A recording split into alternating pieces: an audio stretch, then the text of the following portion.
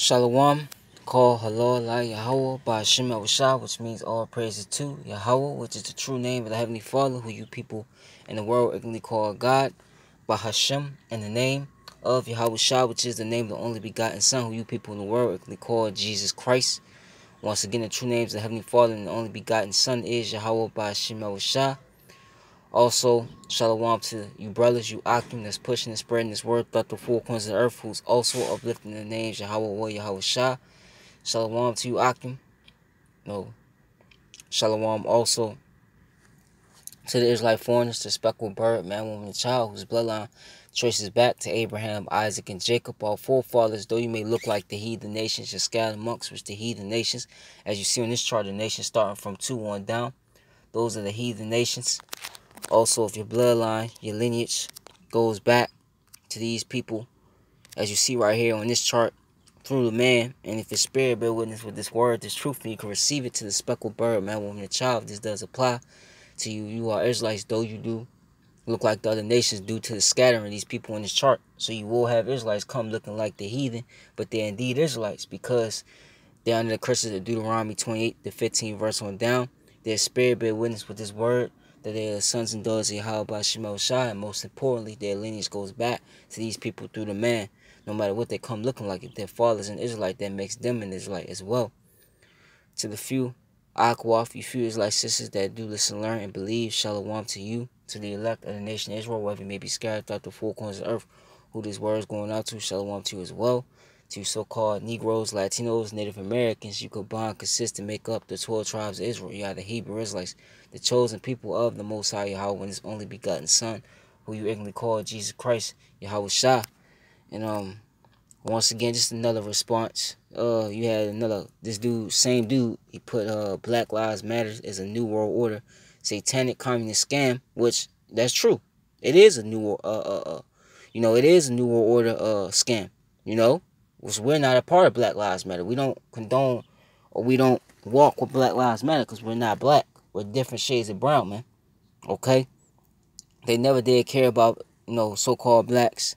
The money donated all goes support the Democrat Party and other groups. They're going, yeah, that's right. They are, you know? But it's this comment right here that stuck with me. It says, I already told you, you know, I am white, which I'm going to get into that. There's no such thing as a so uh, white people, man okay? Otherwise known as Caucasian, which that's another thing I'm gonna get into, and says there's absolutely no shame connected to being white. You're right, because white people don't exist, okay? This does not mean that I'm arrogant, which Esau, you know, you Edomites are arrogant, okay? So, I'm gonna show you this right here, which I had watched up to 15 minutes of it. I didn't get to watch the rest of it, but it's very interesting, you know? And, um, I'm uh, planning on watching this whole video when I get the uh, time to do it. Because, you know, I'm at the gig right now, so I might have to chop this in two parts. But before I uh, play the video, I'm just going to start off with this scripture. You know? Because she's going to go into, you know, how, you know, uh, uh, uh whites, how the uh, white was created, man. You know? Psalms 64 and 8 it says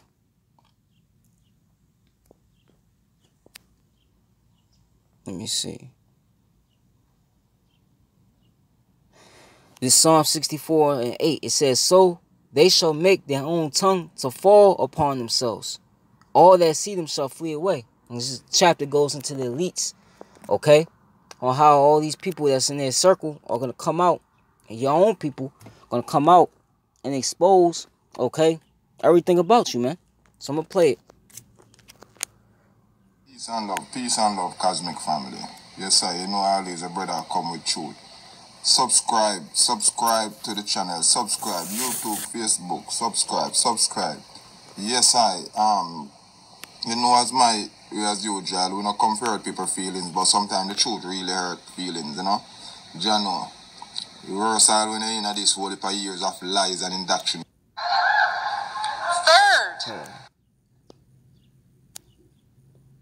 the truth really hurt feelings, you know. John, you know, the worst all when you're in this whole for years of lies and indoctrination. But they, somehow you have to learn to handle your feelings, just like that.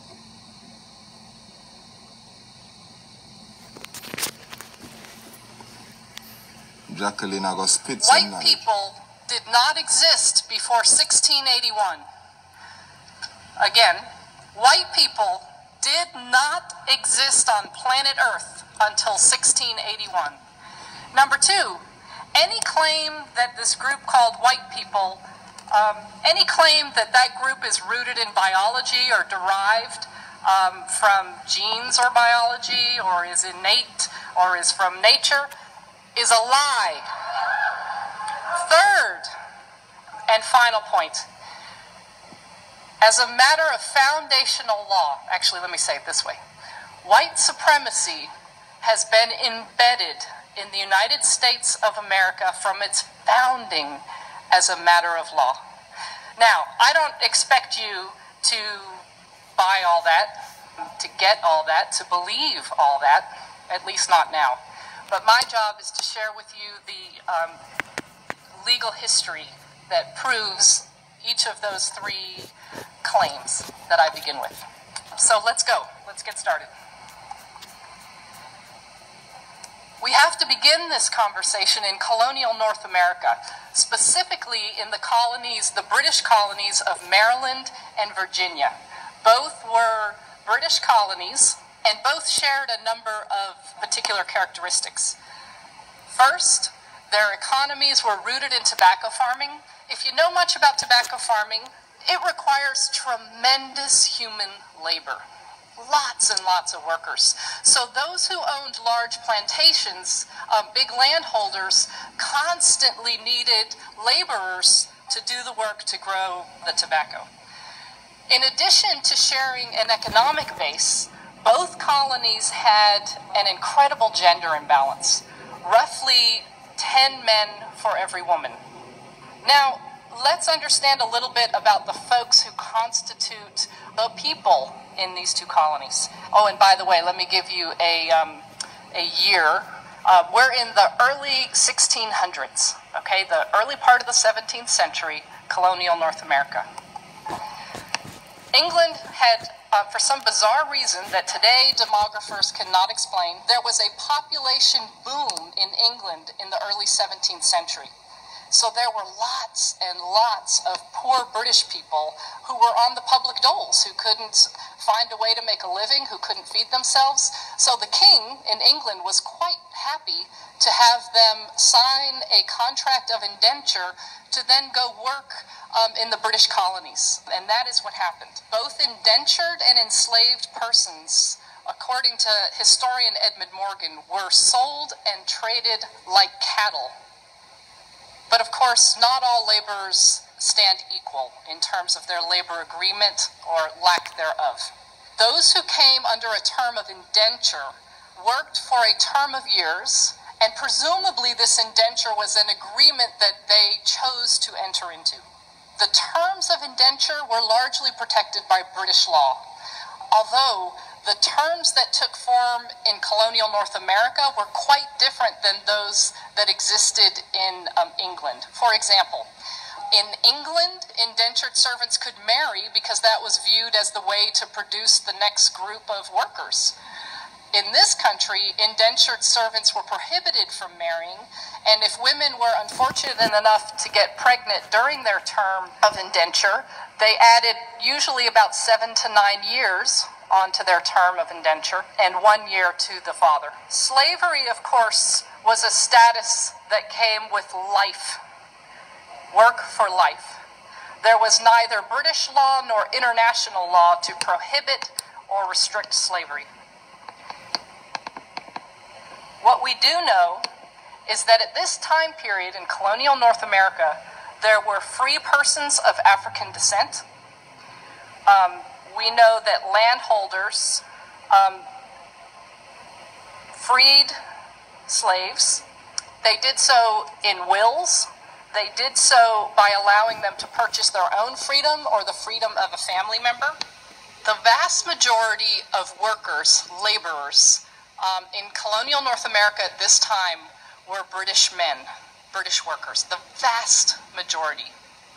Um, there were some women there were some European laborers from Portuguese, Dutch, um, folks from Ireland and from Scotland are also revealed in the um, records, but the vast majority were British men.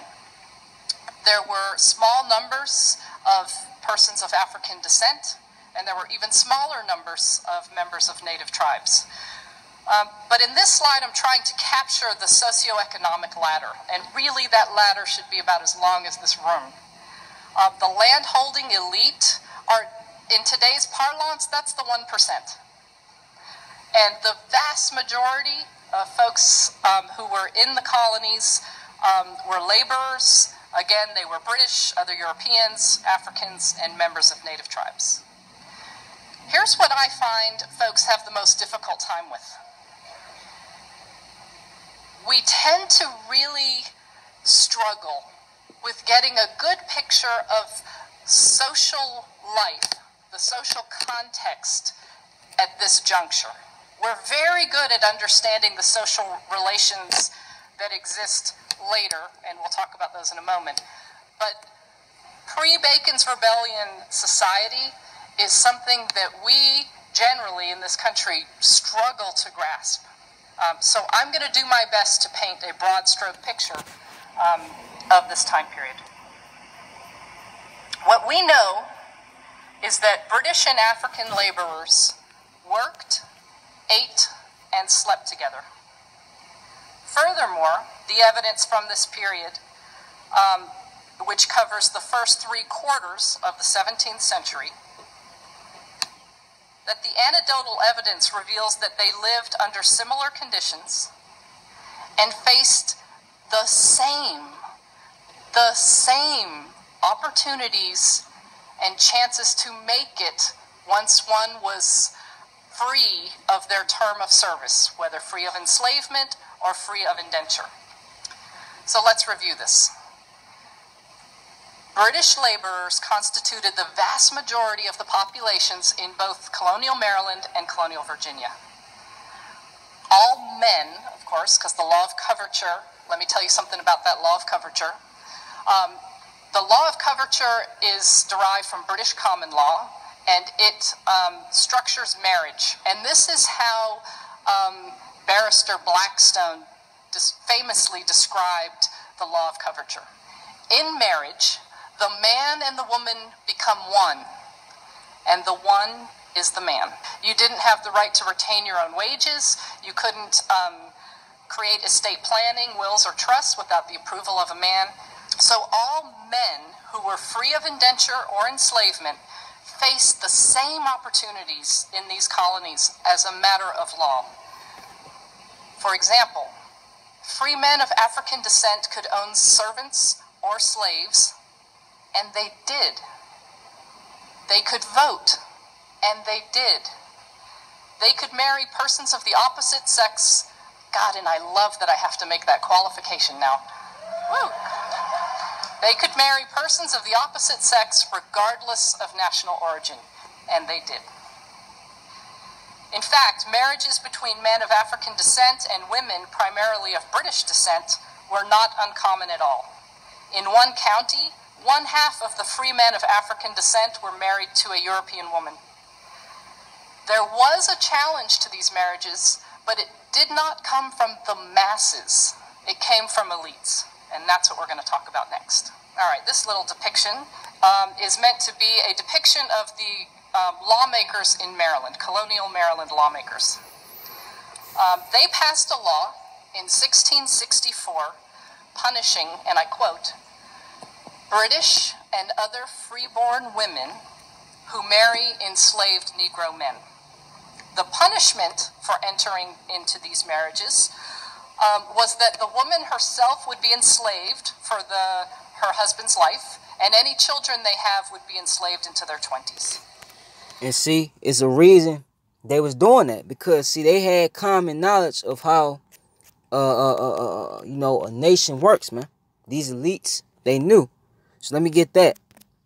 Okay, let me actually get Psalm 64 again. You know, they knew. There's a reason why they was doing that because they knew. This is uh Psalms 64. Let me see. Right? It says, I start Psalm 64 and 2 says, Hide me from the secret counsel of the wicked, you Edomites. Starting with these elites, it says, From the insurrection of the works of iniquity. Now, this is simply going to the elites who wet their tongue like a sword and bend their bows to shoot their arrows, even bitter words, that they may shoot in, in secret at the perfect. Suddenly do they shoot at him and fear not, which that could uh, apply to these laws that they have, these politicians put into place, man, to oppress, you know, Jake, you know, so-called Negro, Latino, Native American. But here's the point. They encourage themselves in the evil matter. They commune of laying snares privately. They say, who shall see them? They search out iniquities. They accomplish a diligent search, meaning they do a lot of research. You know, they do a lot of uh, uh, uh, uh, you know digging up things, certain things that people don't you know seem to want to dig up. It says both the inward thought of every one of them and the heart is deep. See, and they knew that the man. Okay, so let me get that. Your your lineage is determined by the house of your fathers. Is going to say in this this uh chapter and verse. This Numbers 1 and 18 says, And they assembled all the congregation together on the first day of the second month, and they declared their pedigrees after their families by the house of their fathers according to the number of the names from 20 years old and upward by their poles, man. That's how it works. You are what your father is, man. Okay? If your mother, for instance, is a, you know, speaking to Jake, if your mother, like, is a, a, a heathen, if she's an Edomite, so-called white woman, for instance, you know, and your father's an Israelite or so-called Latino or Native, you know, so-called Black, Latino, Native American, man, you are okay what your father is. It's no such thing as a mixed race, okay? There's no such thing as that. See, the elites did that and put that out there. You know, these DNA testing kits, you know, that people go and uh, get tested to find out what they are. They put that out there to keep you, you know, confused, man. Okay, but the reality is you are what your father is, no matter what you look like. I always open up with that. You could come out looking like a so-called Negro, but if your father's an Edomite, you're still an Edomite. It's the in the same way around, man. You would have a, a, a uh, uh, you know so-called black man, white woman come together. That child could come out looking like an Edomite, but if his father's an Israelite, then he's an Israelite as well. Okay, that's how it works. And they knew that. So that's why they had to put these laws that she's going to go into in place, okay, to stop that.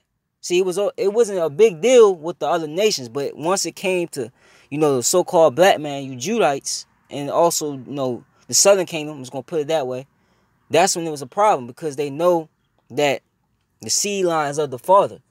Okay? So, go back to the video. You know, this is an interesting video. I'm planning on finishing it up when I have the time to.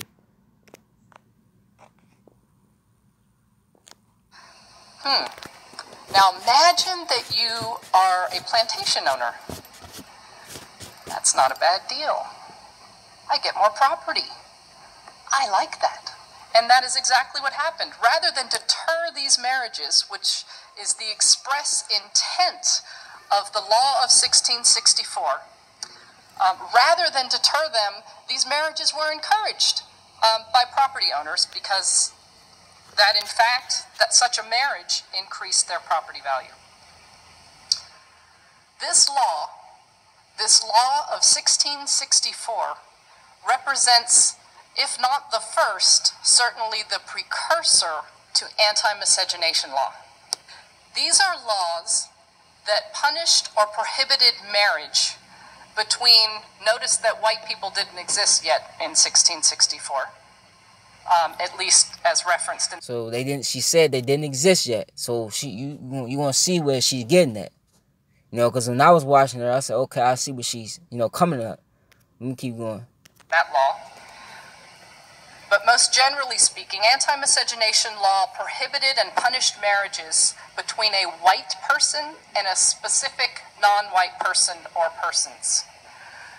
Be really clear. I read all the time in history books, in academic texts, um, and I hear, I read anti miscegenation law described as prohibiting interracial marriage.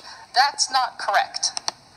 For example, a person of a member of a native tribe could marry a person of Chinese descent. Both were understood as racially distinct but never did anti miscegenation law prohibit such kinds of marriages. The only marriages that anti miscegenation law prohibited were those between a white person and always a person of African descent, See. and sometimes various other groups. Okay, so just so we're really clear about anti miscegenation law and its link um, to whiteness. A couple other things to note about anti miscegenation law it's not derived from British law. Anytime um, we look at law and study history and you see a break from British common law, you always want to pay attention because it tells us something about the needs and desires of those who wielded power um, in the colonial context. So, anti miscegenation law was one of these laws. They're, they were passed colony by colony and then state by state. It's a really important area of law um, for a number of reasons. Um, but for our purpose this morning, is because it's where this human category called white first appears on planet Earth. The first time. In addition, anti miscegenation law is important because it lasted more than 300 years. These anti miscegenation laws literally shaped the faces of this group of more than 2,000 X number of people that I'm looking at today. The Maryland legislature um, sought to correct for the encouragement of marriages that they described in that previous law of 1664 as, quote, a disgrace, unquote, to the British people, as an indication that the, quote, British or freeborn woman must be forgetful of her status as free, end quote. So they passed the law of 1681. And in this law, it made it illegal for British and other white women from marrying a Negro slave. There it is. And furthermore, the law punished any landholder who encouraged the marriages and any religious authority who performed it. So This law equals the invention of the human category white. there it is. Okay. This is where it, it, it's, it's, it stemmed from. It really stemmed from basically even my woman dealing with Jake. Okay, but there's more to it. So I'm gonna play a little bit more, but I'm gonna have to uh, do a part two on this because you know my time. I got something to do, but um, I'm gonna keep it going. Did these group of laborers, some of whom were from Portugal, some um, from Holland, some from Ireland, Scotland, did, did they have a little genetic transformation that occurred right after the General Assembly in Maryland met, creating a genetic sludge that we can now call white? Virginia passed its first anti miscegenation law in 1691. In Virginia, the law prohibited both white men and white women from marrying um, African, uh, pardon me, a person of African descent or a member of a native tribe. Um, but lest I leave you thinking that gender equality um, was being created in this law, let me quickly dispel that. Studies um, of antebellum courts reveal that, in fact, anti miscegenation law um, was that, at least in the language of the law, prohibited these marriages for white men and white women. But here's what we know from antebellum court cases. Um, we know that plenty of white men married and or engaged in intimate sexual relations um, with prohibited women. However, very rarely were they brought to court and punished under the anti-miscegenation law. See, that's what that's that's that's what they do. They're hypocrites. Okay? The law applies. See, it's, it's law and justice when it comes to you Israelites, right? They throw the book at you, but when it's them, they get away with it. You know, the law is slack, like the scriptures say. You know? Very rarely. So here, pay attention to this. This law, in its enforcement, is largely focused on, on controlling the relationality and the sexuality of white women and non white men. Furthermore, think about um, the enforcement. I'm gonna get scripture real quick, and I'm gonna have to to uh, close it right here in part one. But it's uh Isaiah 32, right? And five, it says the vile person was going into Esau shall be no more called liberal, nor the troll said to be bountiful. For the vile person will speak villainy, and his heart will work iniquity, to practice hypocrisy. They'll put laws in place to where it benefits them, but if it's Jake, okay, anybody else, okay, they get punished, man. And to utter error against the Lord, Yahweh Shemashah, to make empty the soul of the hungry, he will cause the drink of the thirsty to fail. The instruments also of the churl are evil. He devises wicked devices to destroy the poor with lying words, even when the needy speak of right. You know? And this is what he does. That's what they did, okay, with this uh, uh law that she's speaking about. You know? Practices that come out of